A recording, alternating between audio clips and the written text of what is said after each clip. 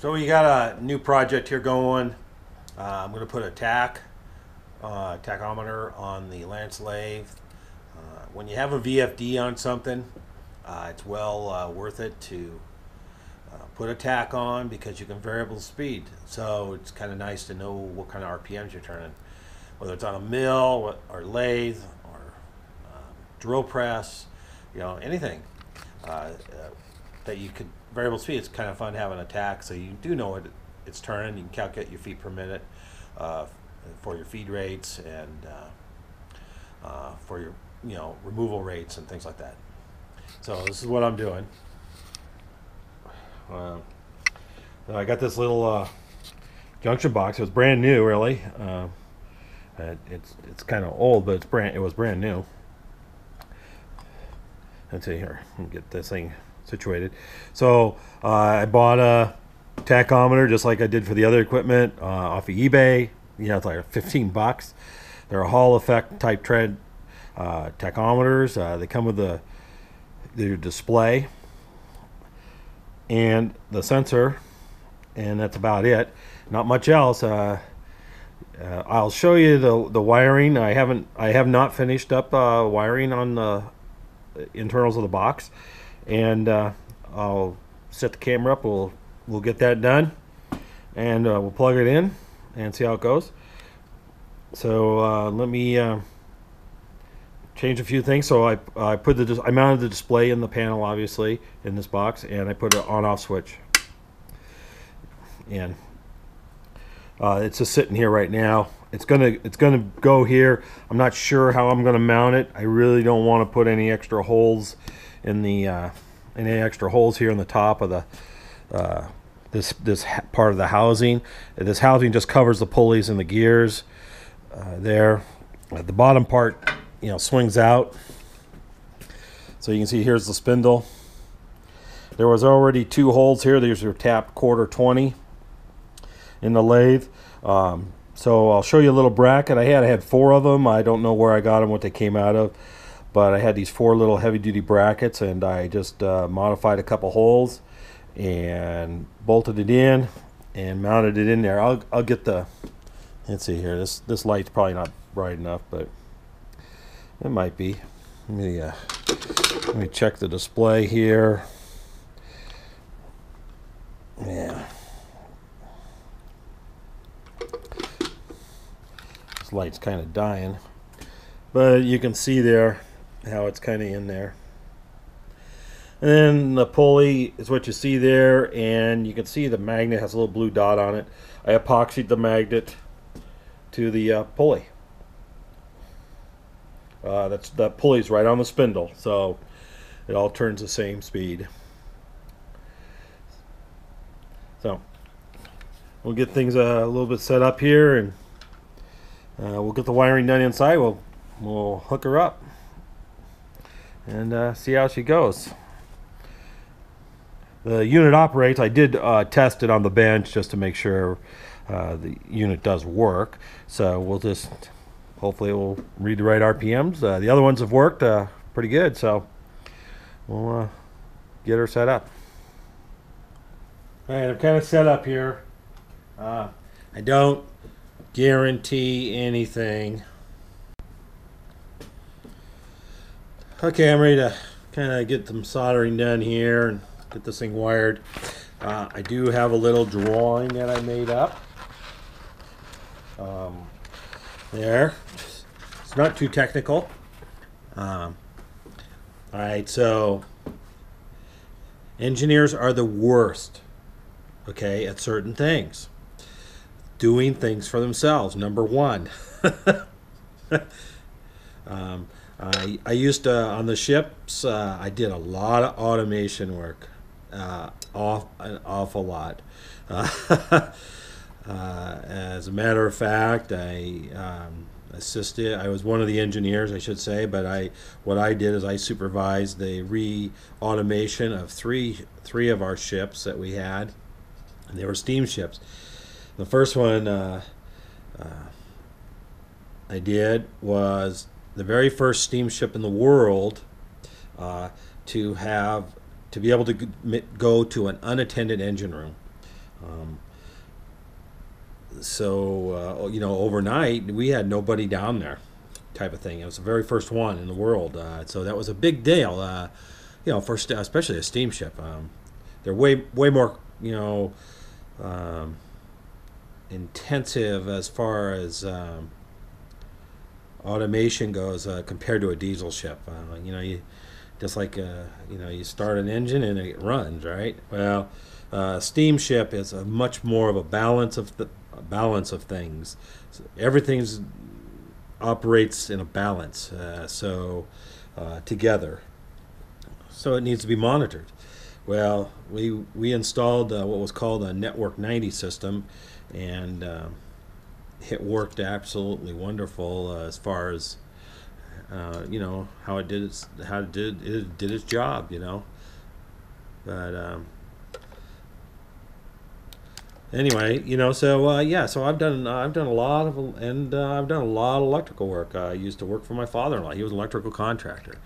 But you know, when you do things for yourself, you just usually don't do things the same.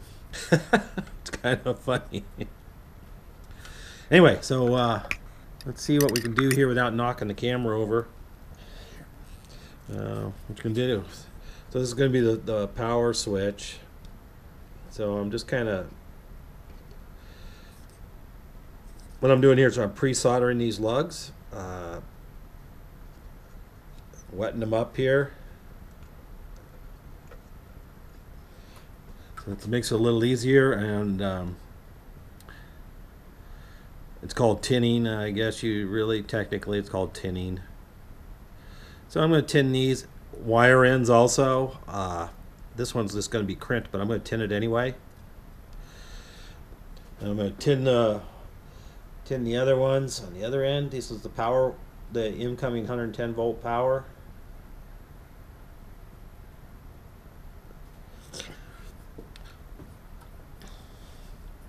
So uh, when for the power supply, so I have this is a I think it was a printer charger from Canon, a Canon printer charger. The 120 volts in and puts out DC at 8.4 volts. You know, it's a inline kind of power deal. It's not a wall wart. Uh, these are little these type here for this type of project are a little easier because they have a they have two cords. So you, you can place it inside of something and use it as a power supply. I love recycling stuff and putting things to good use. I have a box full of this type of stuff, of these type of things. I save them all. Uh, every once in a while I go through and I weed out the ones I don't want and I throw them away, but I have a box full. Uh, varies in voltage outputs from like, you know, one, one and a half volts up to over 12 volts, 50, 18 volts or something. I have some. So, you'd be surprised after a while you accumulate these things and uh, they're they, you can put them to good use I should say. So we're gonna do the power power side here first so let's see if we can uh, I probably should have bent these tabs a little bit make it a little easier. There's a little more room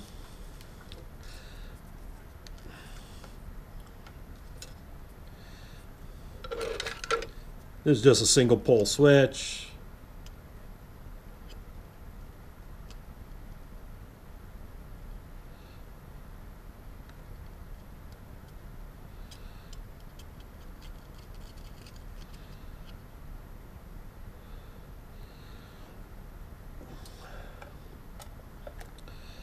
And so I'm only um, only you know switching the hot hot lead.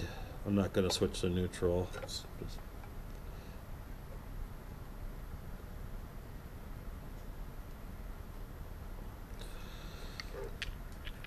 So for the neutral, what I'm going to do is I'm just going to butt splice that together with a crimp butt, butt splice.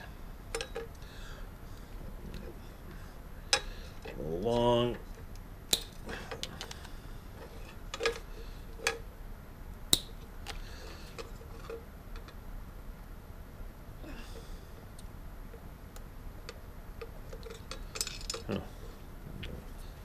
solder there.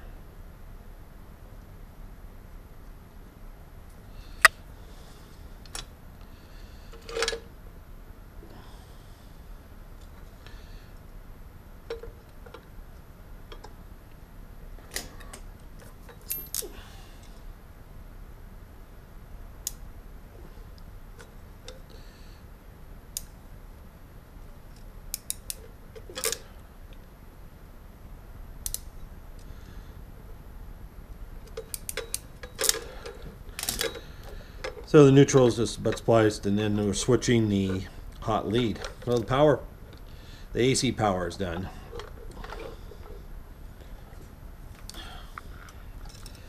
So what we're going to do is the this is the this is the DC power, uh, the other end of the power supply here, and uh, we're going to get that hooked up.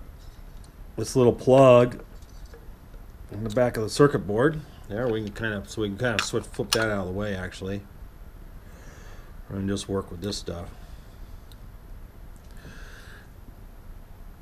So, uh, yeah, the red one is the uh, positive. We'll do that first. Um, and then this, these here, uh, used, if sometimes they're not marked, but this one is marked. It has a red stripe on it, and that is the positive side of the output of the uh, little power supply.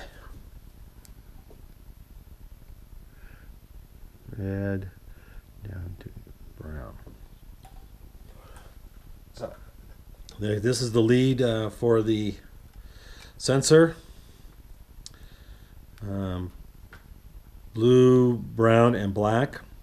So the little tag on the sensor is in Japanese, or yeah, it's in Japanese. I don't. Th- it might. Well, you know, it might be Chinese. I don't know. Anyway, it's probably Chinese, but uh, but it's a, it's a symboled a little diet, little tiny diagram. But they, do, I don't, I have no idea what their what their colors are because I can't read Chinese. But I've done this before, and usually the black is the negative.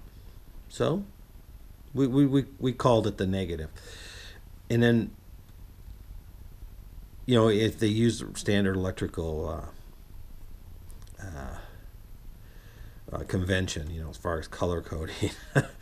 So now we had these other two. Now these go. One's a positive, goes positive, and one is the return from your uh, sensor, the pickup.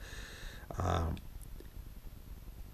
and since it's it, it's positive, either one is positive. They're both positive, so I'm safe when I hooked it up on the bench. If I had these backwards, it really didn't matter, but it didn't work.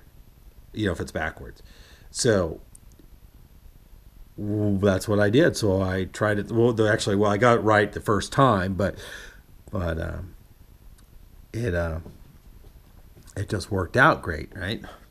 So uh, the brown ones end up being the positive uh, side, and the black is the negative, and the blue is your sensor. That's your input. So that so the like I said, the brown one is the positive So we're going to hook all these together.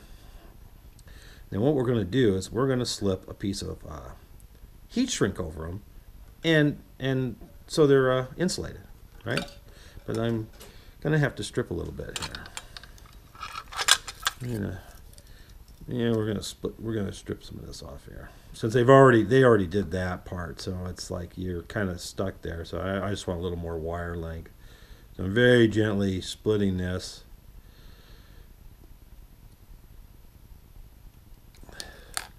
So to get a little more wire length.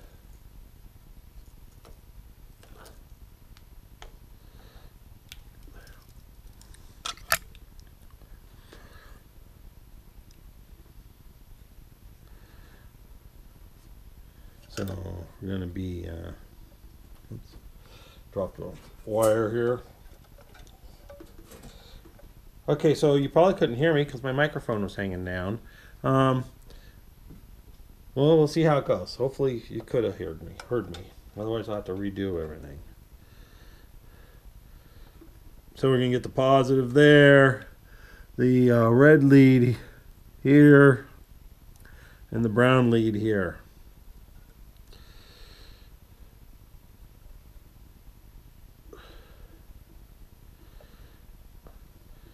I'm not going to use it. I'm not using a terminal strip or anything. It's just, you know, it's it's just a lot easier sometimes just to solder them together. And it's very good connection.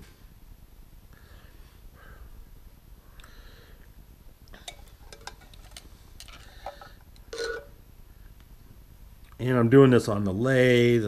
Over here on the lathe, so it's a little bit tricky, I guess.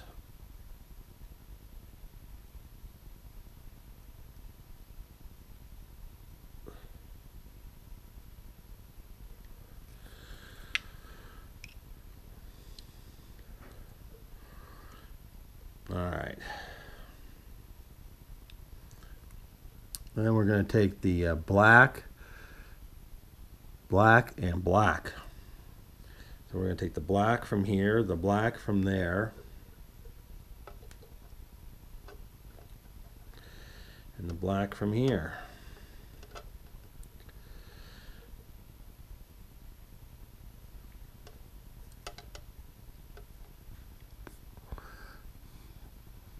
Double check on my drawings, so yeah. Like I said before, you get kind of stupid sometimes when you're doing videos. So I don't want to do this from all from memory.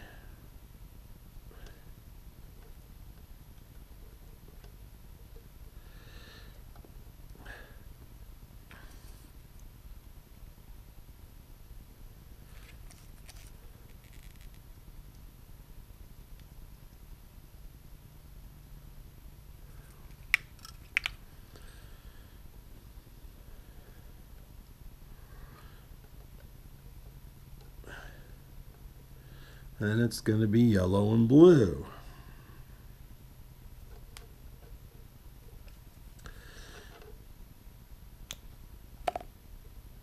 Pretty simple, it's the only ones left.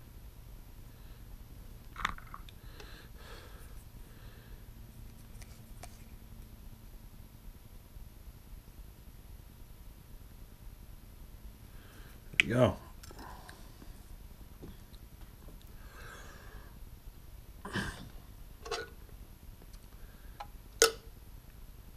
Yeah, essentially that is everything.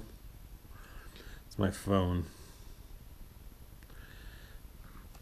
And we're going to cut some of this uh, shrink tube. We're going to slip little pieces of shrink tube over it. Actually, I'm going to see what's in this jar here. Right, probably have some more, more smaller stuff.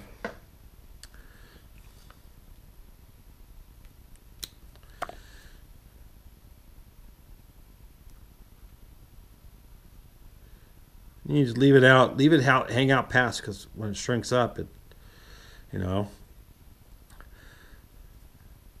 And since I didn't grab my heat gun, I have to go get that. We'll just get all these together, all these. Yeah, I'm gonna have to use a little bigger on that one.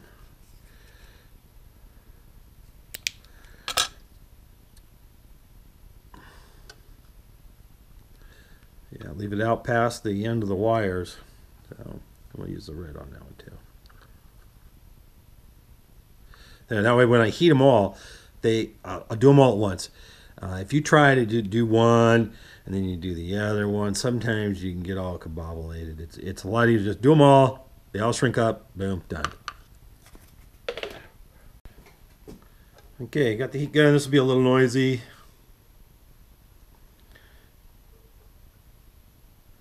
Sure we get those in positions. You know, like quarter inch out past those wire ends.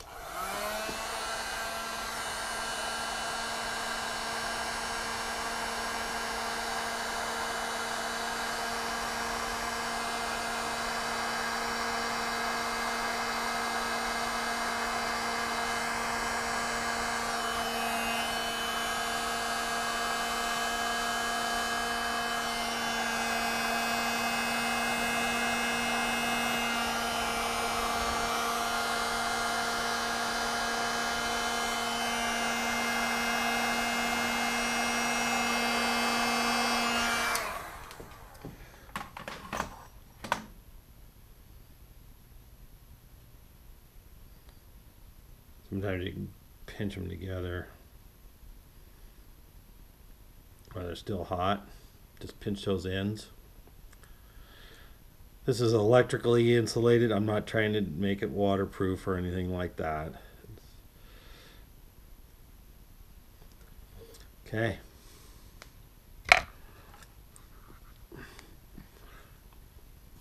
Alrighty, we. Uh, okay, and so we re- we preserved this plug on there. We're gonna plug that in there. We're just gonna flip this up here. Sure things aren't touching anything. We're gonna get the uh, little cord.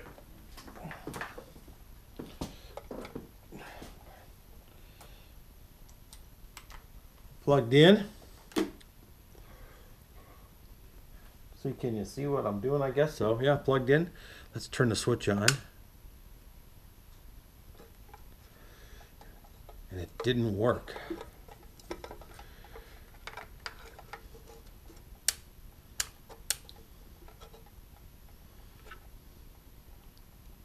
Oh, well, you got to plug the readout in. That would help. There we go. See, you get stupid. Plugged in. The readouts are come on. There we go. Can you see that? It's a blue readout. I think that's kind of cool. I deviated from the norm of the reds, went to the blue. I got this thing in neutral. I'm just going to spin the chuck. And it does nothing.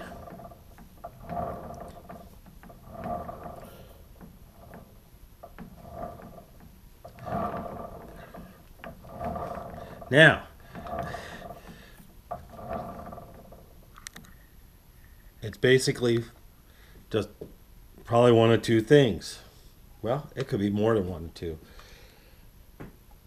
The magnet's not close enough to the sensor, so I can adjust the sensor in and out, get that a little closer. The magnet is backwards. Now, I thought I had it right way because I tested to make sure it's uh, the right the polarity on the thing to make sure it worked properly because uh, it only works one way. And if I glued it on uh, wrong then I screwed it up and uh, well no let's see. In neutral it doesn't do that Oh, there we go. I might have to turn it, actually turn the lathe on. No, the pulley wasn't turning. When you, yeah, when it's in neutral, neutral, it doesn't do anything.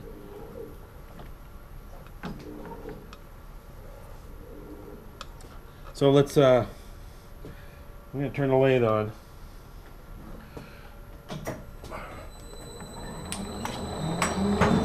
There we go, huh?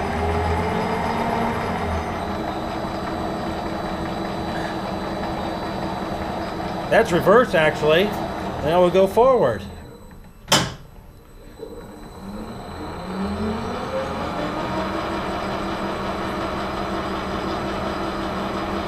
Boy, that was close. Works perfect. That's what we like to see. Oh, he's perfect. There, that's that's for Ray. Ray Goff there. Perfect. anyway, pretty happy. We'll put her together, finish buttoning her up here. Turn it off. Turn it on. Sweet. And now I can just crank it up the VFD. Let's see, I think, uh, what gear we're in? We're, that's, uh, that's actually pretty close to what I was measuring, uh, 700 when I did my tach, uh, my strobe tach. I'll have to, we'll double check it. We'll do some comparison here after I get it buttoned up.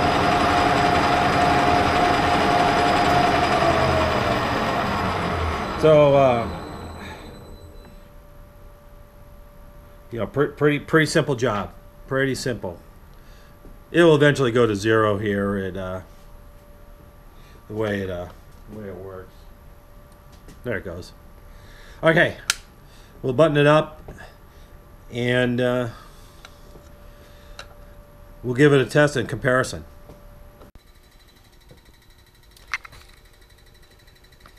Okay, uh, I'm gonna set it up here to uh, test this out again and compare it to the strobe.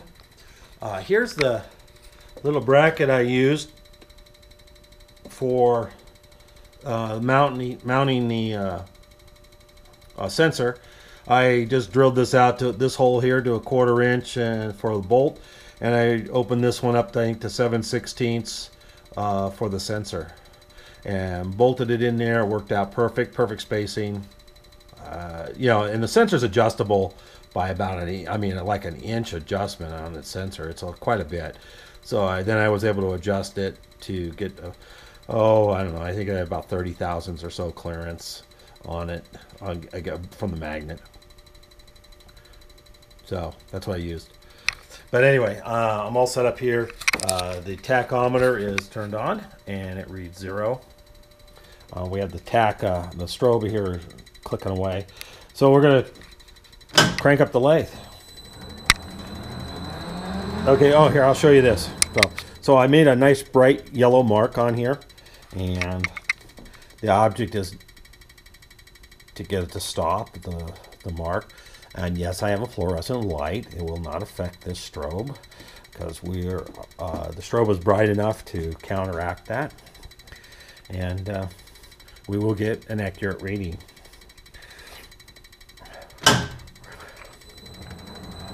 Here we'll get this.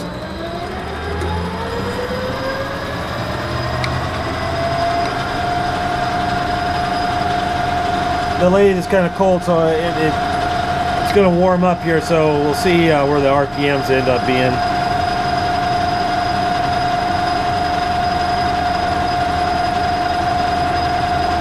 There we go. I don't know if you can see that, but I'm stopping that uh, yellow mark and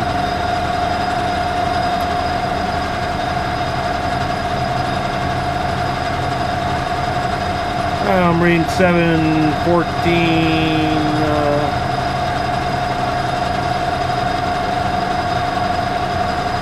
So you can see how this bouncing around there a little bit. It's right in there. And that's what the, there. I would say a plus or minus one RPM uh, for the most part. It will slow it, slowly down to a slower number. See how that maintains there around 540. And we'll do this, bring this down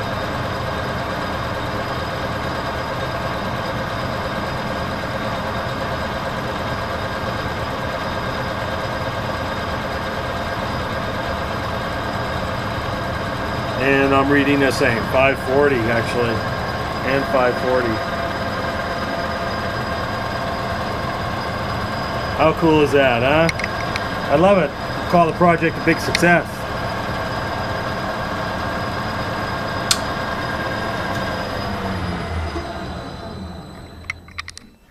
And then that will go to it will go to zero here in a moment. It it like holds the number for a little bit There it goes. And over a little switch, we can just turn it off, which is nice. This is a, whoops. Uh, I lost the mic. Anyway, uh, a good project. If, uh, you know, it's like a few hours project for you. Uh, it's fairly inexpensive. Um, the, the box uh, for me was nothing. I don't know where I ended up with the box. I never, I know I didn't buy it uh, and the Switch. Hmm, I might have bought those. Uh, I had an airplane uh, job on airplane stuff I was doing, and I needed a few switches, so that might have been a leftover on that. So a couple bucks for a switch, and the display I think it was like fifteen dollars off at eBay, uh, and that's the sensor and the display.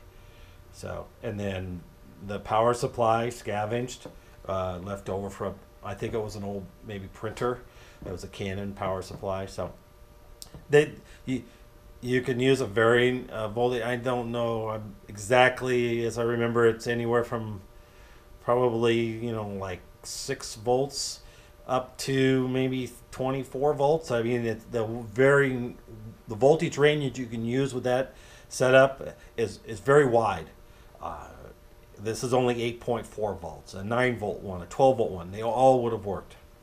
Uh, so, anyway, fun little projects uh, like that are always good. And th- these are great enhancements, for, especially for your lathe and your mill.